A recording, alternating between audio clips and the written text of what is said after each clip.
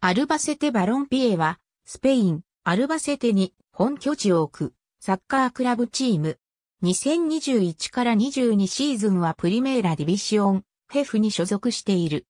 エスタディオ・カルロス・ベルモンテ1940年にアルバセテ・フットボル・アソシアシオンとして創設され、後によりスペイン的な現在のクラブ名アルバセテ・バロンピエに改名した。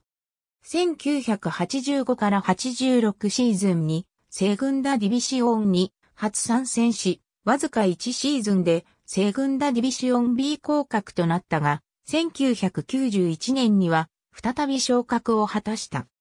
1989年に就任したベニート・フローロ監督はセグンダ B に所属していたクラブをプリメーラディビシオンに昇格させ、昇格初年度の1991から92シーズンには7位に躍進した。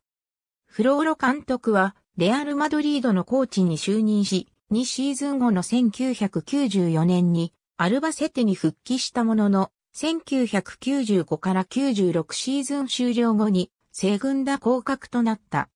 セグンダでは、財政面やスポーツ面で深刻な問題に直面したが、セサル・フェランド監督に導かれた2002から03シーズンは3位となってプリメーラに昇格した。しかし、2004から05シーズンは38試合で6勝しかできずに降格し、その後はセグンダが定位置となった。2010から11シーズンは2度の監督交代がなされたが、アントニオ・カルデロン監督、ダビド・ビダル監督ともに結果を出せず、21年ぶりにセグンダ B に戻ることとなった。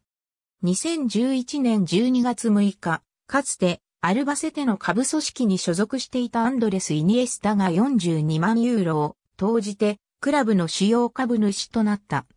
2011から12シーズンのコパデルレイではラウンド16まで勝ち進んだが、アトレティコ・マドリードに2試合合計1から3で敗れた。中、選手の国籍表記は FIFA の定めた代表資格ルールに基づく。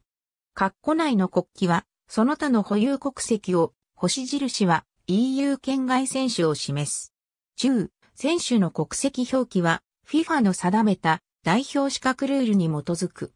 中、選手の国籍表記は FIFA の定めた代表資格ルールに基づく。